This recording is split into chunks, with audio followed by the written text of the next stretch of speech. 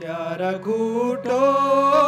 कान बूढ़ो निर्णय pulse polio टीमा न्यारा गाँव माँ Prasar Bharati, in collaboration with UNICEF, have been conducting a series of workshops on polio eradication.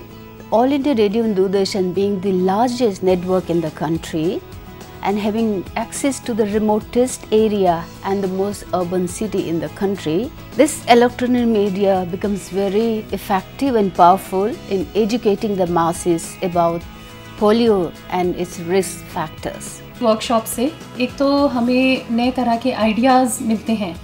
कि how to reach to the masses जैसे हम पब्लिक ब्रॉडकास्टिंग सर्विस में हैं तो हमारा मेन उद्देश्य यही रहता है कि हम कैसे उन्हें डायरेक्ट हिट कर सकें। तो इस वर्कशॉप के दौरान जो हमें एक practical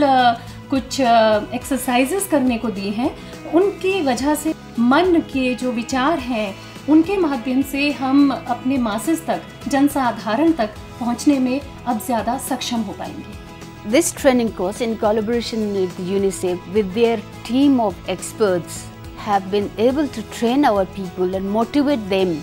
to make programs for their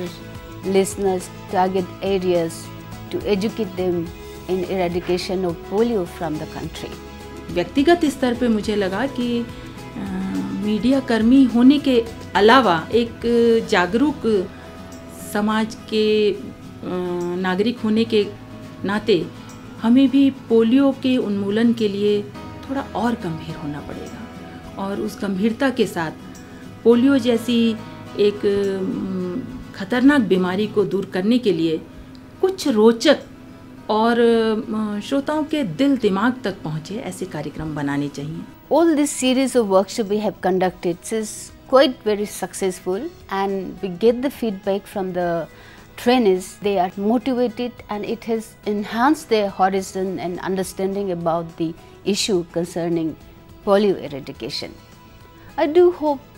with this kind of training they will be able to do much more creative program and much more effective program for our listeners and we are hoping to continue this same collaboration in the future in 2010 and also upscaling the level of training for this institutional capacity building and uh, skill promotion. हाँ ये क्या कि approach जो है वो dynamic हो जाती है और वीएम ब्रॉडन हो जाता है और ये अ, पोलियो कैंपेन के लिए ही नहीं ये मुल्क की देश की प्रगति के लिए बहुत अच्छा होगा